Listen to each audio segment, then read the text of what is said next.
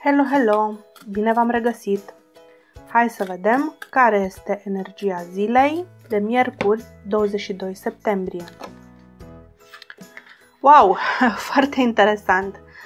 Pentru ultima zi în care soarele este în zodia Fecioarei, pentru momentul în care ziua și noaptea sunt egale ca durată, da? pentru echinocțiul de toamnă a ieșit aici optul de bâte. O carte de viteză, de pasiune, de lucruri care se întâmplă foarte rapid. Și mi se pare interesant că a ieșit această carte tocmai în ziua în care Mercur face quadratură cu Pluto retrograd și ziua în care Soarele trece oficial în zodia balanței. Aceste lucruri o se întâmplă în partea a doua zilei, da? Quadratura dintre Mercur și Pluto se întâmplă în jurul orei 4 ora României și Soarele părăsește oficial uh, zodia Fecioarei în jurul orei 22 și 21 de minute ora României. Și pentru că aceste evenimente astrologice se întâmplă spre finalul zilei, asta mi arată că ziua o să fie foarte încărcată. Da, energiile o să fie foarte tensionate, mai ales că ieri am avut o lună plină, nu ne-am dezmeticit bine din acest eveniment, că uită soarele și pleacă în alt semn zodiacal și Mercur aici este în conflict cu Pluto. Uh, vorbele noastre, gândurile noastre sunt în conflict cu situația mondială, cu transformările pe care suntem obligați să le implementăm în viața noastră. Sperăm că de mâine, după ce soarele trece în balanță, lucrurile o să se mai echilibreze, dar ținând cont că în curând Mercur o să-și înceapă mișcarea retrogradă, hm, nu știu ce să spun. Bucurați-vă de ultimele 5 zile în care Mercur mai este în mișcare directă ca să um, finalizați negocierile, ca să semnați actele și ca să primiți aprobările pe care le așteptați. Pentru că dacă nu o să finalizați negocierea, dacă nu o să primiți aprobarea, dacă nu o să semnați contractul până pe 27 septembrie, ei, așteptați-vă la întârzieri. Întârzieri care poate să țină până pe 18 octombrie sau poate chiar până la început de noiembrie. Bun, revenind la cartea de tarot care a ieșit pentru astăzi, revenind la acest 8 de bâte.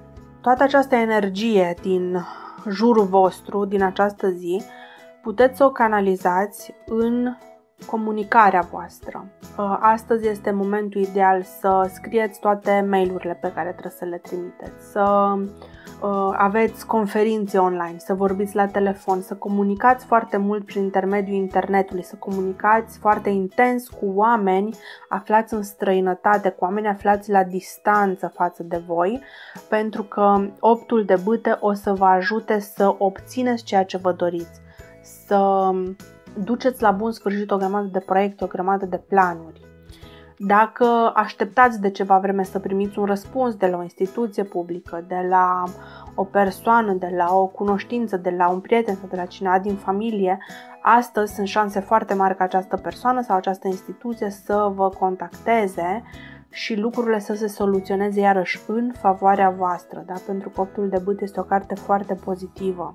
Pregătiți-vă astăzi pentru că o să fie o zi nebună, o zi în care se întâmplă foarte multe lucruri, e posibil să trebuiască să călătoriți, e posibil să trebuiască să mergeți la instituții, la oameni sau în locuri în care nu planificați să mergeți, dar apare această nevoie urgentă de a merge într-un alt loc pentru a rezolva anumite lucruri, așa că țineți cont de acest lucru. Uh, creați-vă un orar mai flexibil, și în uh, dragoste um, ar fi recomandat să nu uitați să uh, îi scrieți un mesaj persoanei iubite, să-i dați un telefon, să comunicați da, și cu partenerul sau partenera voastră de viață, nu doar cu partenerii de afaceri. Pentru că uh, în această zi acesta este marele risc să prioritizați anumite aspecte ale vieții voastre în care, da, într-adevăr, o să obțineți lucruri pozitive, dar în defavoarea altor aspecte din viața voastră și nu ne dorim asta pentru că, la urma urmei, la finalul zilei, ne dorim să avem o viață echilibrată, să avem succes și în afaceri, dar să avem și o familie fericită. Dacă v-ați regăsit în acest mesaj, vă recomand și etalările anuale și lunare pe zodii care le-am pregătit pe canalul meu de YouTube. Nu uitați și de etalarea pe zodii pentru restul anului, da? pentru perioada dintre echinocțiul de toamnă și solstițiul de iarnă, dintre 22 septembrie și 22 decembrie. Vă mulțumesc că ați stat cu mine până la final. Ne vedem și mâine. Pa, pa!